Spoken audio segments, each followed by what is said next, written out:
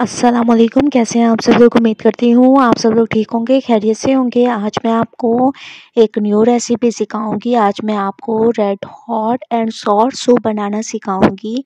एक नए अंदाज में तो चलें स्टार्ट करते हैं।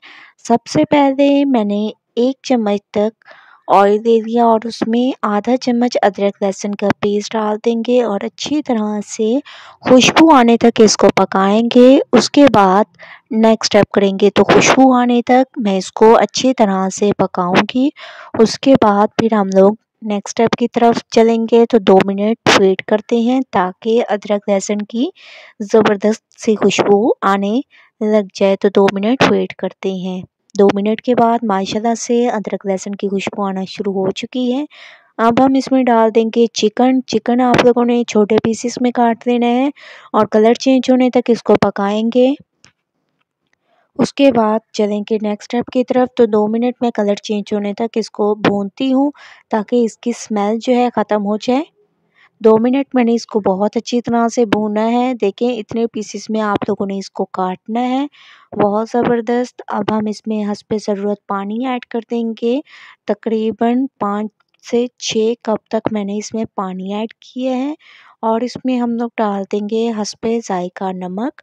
ठीक है हसबे जायका आप लोगों ने इसमें नमक ऐड करना है, अच्छी तरह से चम्मच को चला लेना है, आधे घंटे के लिए इसको पकने के लिए छोड़ देना है, उसके बाद फिर नेक्स्ट स्टेप करेंगे तो आधे घंटे के लिए छोड़ देते हैं। तकरीबन आधा घंटा हो चुका है, माशाल्लाह से बहुत ज़बरदस्त तरीके से सूप हमारा पक रहा है, हरी मिर्चें और गाजर इसमें डाल देंगे छोटे छोटे आप लोगों ने गाजरों को काट देना है और हरी मिर्चों को आप लोगों ने ऐसे काट देना है, एक चम्मच इसमें डाल देंगे काली मिर्चें ठीक है, इसको काली मिर्चों को दरदरा सा आप लोगों ने पीस लेना है। वो डाल देंगे। इसके अलावा इसमें हम लोग डाल देंगे केचप। दो चम्मच के करीब इसमें हम लोग डाल देंगे केचप। इसके अलावा इसमें हम लोग डाल देंगे चिली सॉस। तकरीबन दो चम्मच के करीब आप लोगों ने चिली सॉस डालना है। इसमें हम लोग डाल देंगे विनेगर। दो चम्मच विनेगर इसमें डाल देना है। और इसमें हम लोग डाल देंगे सोया सॉस तकरीबन दो चम्मच आप लोगों ने इसमें सोया सॉस भी ऐड करना है। ज़रूरत के मुताबिक आप लोगों ने जितने आप लोग अपने हिसाब से डाल सकते हैं, एक चम्मच भी डाल सकते हैं। अब हम इसको पकने के लिए छोड़ देंगे दस मिनट।